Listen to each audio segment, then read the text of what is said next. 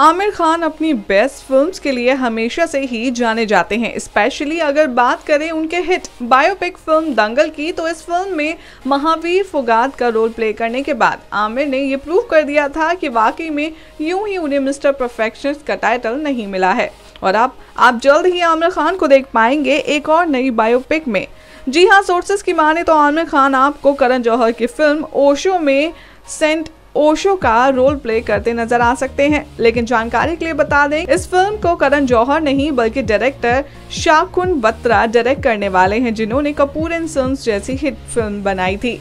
And according to sources Aamir Khan is very excited with the script that has come his way तो वहीं अगर बात करें थर्स of Hindustan के प्रमोशन की तो आमिर आपको इस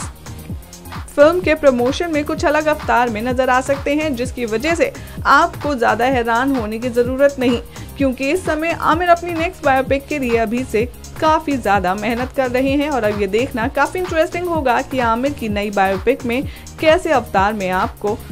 शॉक करते हैं। Next nine live newsroom की रिपोर्ट